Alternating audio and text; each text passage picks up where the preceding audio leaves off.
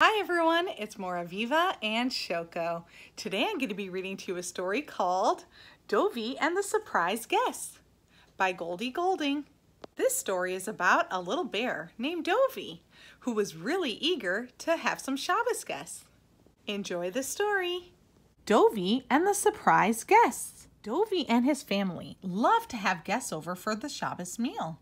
One Friday, he looked a little upset as he put down the telephone. Ari the lion just called, he said to Debbie.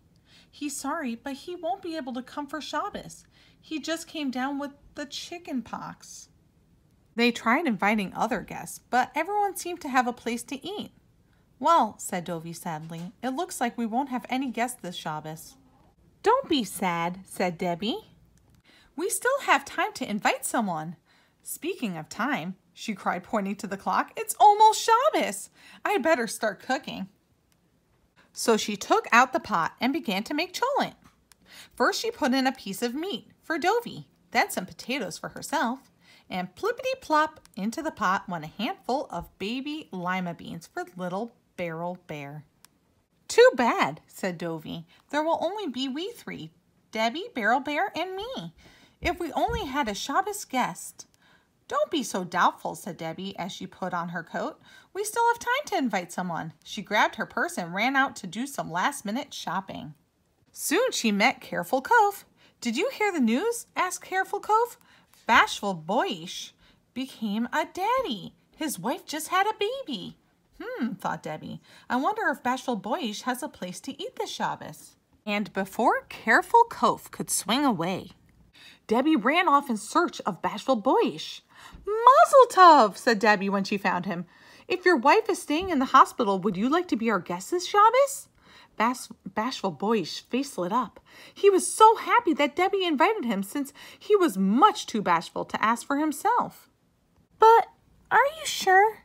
he asked in a very tiny voice. Sure, I'm sure, said Debbie. There's always food for one more. As soon as Debbie got home, she ran to the kitchen and plippity plop into the pot went a handful of kidney beans for Bashful Boyish. Meanwhile, Dovi was in the den cleaning for Shabbos. He didn't know that a guest was coming.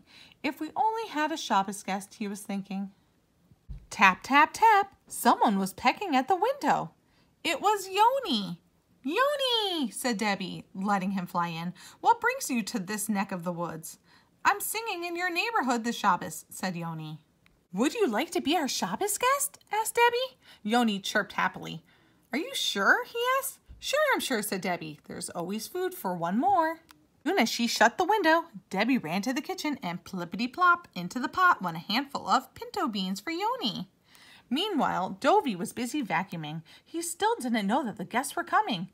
If only we had a Shabbos guest, he was thinking the time it was getting late, Debbie was setting the table when she heard knocking at the front door. Knock, knock.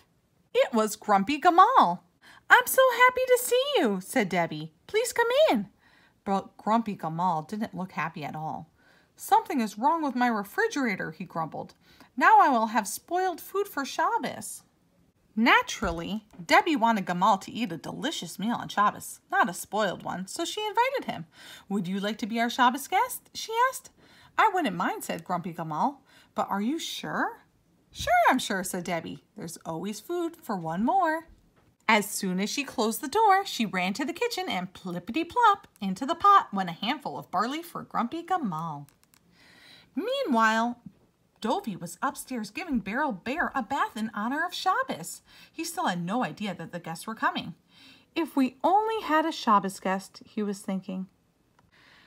Now, it was getting very close to Shabbos. Debbie was in the kitchen preparing chicken and kugel for Friday night.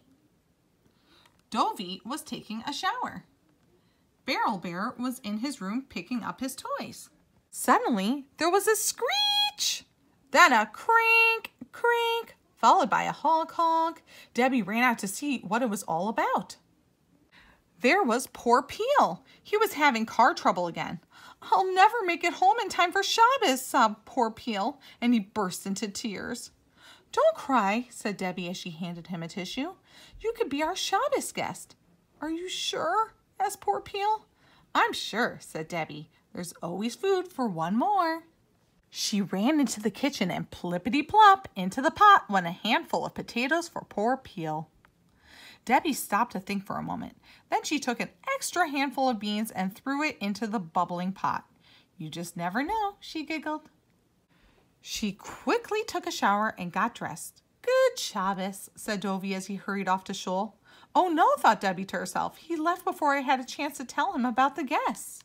Finally, it was time to light the Shabbos candles. Debbie covered her eyes as she lovingly welcomed the Shabbos queen. It was peaceful and quiet. Soon the guests began to arrive from shul. They helped to set up the, all the chairs. As they waited for Dovi, they closed their eyes and enjoyed the smell of tomorrow's cholent. A few minutes later, in came Dovi with a surprise. Good Shabbos, he said to Debbie. He was beaming. In shul, I found a Shabbos guest. Good Shabbos, said Debbie, smiling sweetly. I have a surprise too. When Dovi opened the dining room door, he just couldn't believe what he saw. Around the table were guests and guests galore. He laughed and laughed so hard that he flippity flopped right onto the floor. Dovi's heart brimmed with happiness, thinking how lucky he and his family were to be able to share their meal with others. There's no doubt about it, he said. This is the best way to enjoy a Shabbos meal. And I hope you enjoyed this story. And I hope we can all have Shabbos guests again real soon. And we can all be together again. From Moraviva and Shoko. Have a great day, everyone. Bye.